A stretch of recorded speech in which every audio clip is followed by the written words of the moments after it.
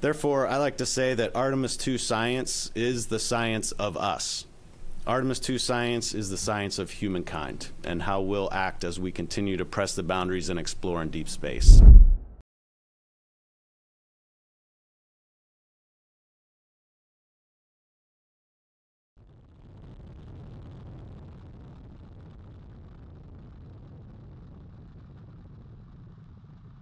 Four RS-25 engines on the core stage and two solid rocket boosters now propelling the vehicle at 128 miles per hour. Hearing good sphere of influence at 2:09 p.m. Eastern Time will remain in that sphere of influence, meaning uh, And there it is. High over the Pacific, America's new ticket to ride to the moon and beyond now in view. To our briefing today to preview rollout and the Artemis 2 mission. taking taking the crew around the moon. This is going to be our first step toward a, a sustained lunar presence on the moon. Um, so it's ten days, four astronauts going further from Earth than any other humans ever traveled. Um, we'll be validating Orion spacecraft's life support, navigation, crew systems in the really harsh environments of deep space, um, and that's going to pave the way for future landings. Um, we are on track for our rollout tomorrow morning. Uh, first motion is planned for 7 a.m. And many of our teams will be coming back in uh, on third shift to make those final preparations uh, and, and get ready uh, to roll, like I said, at first motion. Uh, 7 a.m. Takes us a little while to get out of the building, um, but about an hour after we get that first motion, you'll begin to see this beautiful vehicle cross over the threshold of the VAB and come outside for the world to have a look.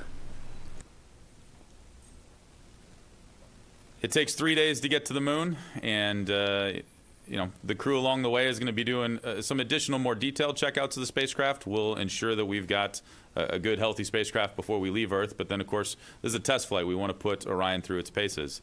And then, as we fly by the uh, the far side of the moon here, the crew is going to spend a day in lunar observation. So they're going to, you know, basically spend uh, the day giving their observations on the far side of the moon, which uh, hasn't been seen. You know, parts of it hasn't been seen by human eyes before. So that'll be a great opportunity. And of course, they're going to take a, a, fair amount of video, and uh, you know, just have those observations. Uh, I will I will caution you that they're a long way from Earth, and signals are uh, a little weak at that point. So we will get some video down, but uh, the real the real high definition video will be post flight when they come back. We're rolling out the integrated SLS and Orion for a flight that will carry four of our friends, um, our NASA family members, around the moon and bring them safely back to Earth. Artemis 2 is a test flight. It truly is exploration. There will be a number of firsts um, that we'll be proving out on this flight. And I like to say that during exploration, science is our toolbox for survival. With that in mind, I'm excited to present to you our Artemis 2 integrated research campaign, uh, which involves activities across biology, human research, space weather research, uh, and also some planetary geology. Hi, thank you so much for taking my question. I'm just wondering if you. During this flight, we will learn how the spacecraft behaves. Through our research campaign, we will also learn how we, human beings, behave in that same environment. The combination of these two things will help us optimize our time in future missions. We'll be flying a payload called Avatar, which stands for a Virtual Astronaut Tissue Analog Response.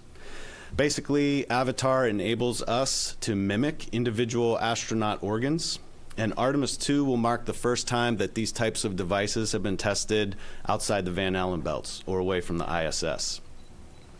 We will test if we can use these astronaut avatars as tools uh, for measuring and predicting our human response to the deep space stressors.